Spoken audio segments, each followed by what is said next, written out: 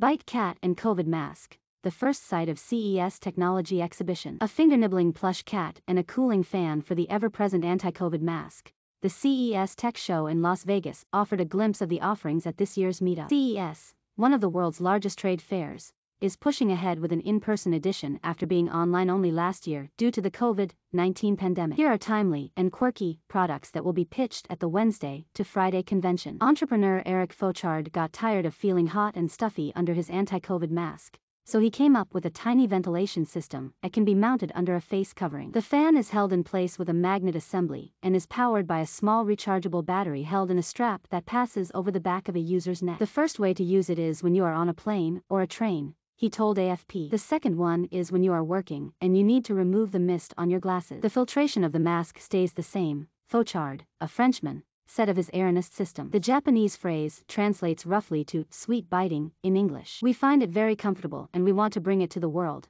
Japanese entrepreneur Shunsuke Aoki said. He transformed that impulse into a small, battery-powered plush creature that nibbles gently on your finger. Aoki said young dogs or cats will harmlessly do the same thing, which is a source of comfort for people, noting that he likes to let the device nibble his finger while driving. In a COVID situation, with people staying home every day, it gives you very good comfort, he added. Who will be behind the wheel of the race cars scheduled to hit the track at CES? No one. It's completely self-driven. There's software that tells the car what to do, said Paul Mitchell, president and CEO of Energy Systems Network, the organizers of the Indy Autonomous Challenge racing competition. It takes the information from the sensors and it tells the car whether to turn, whether to brake, accelerate or overtake another vehicle, he added. Autonomous cars will race on Friday on the Las Vegas Motor Speedway at speeds of up to 160 miles per hour. The exercise is not just for fun, Mitchell said the competition tests autonomous tech at high speeds so that, one day, cars can operate themselves on highways. Race cars and racing in general is a great platform to push the technology to the absolute edge, he added. The white plastic shell of these masks covers the nose and mouth and looks like something out of Star Wars. But their inventors say they can stop pollution,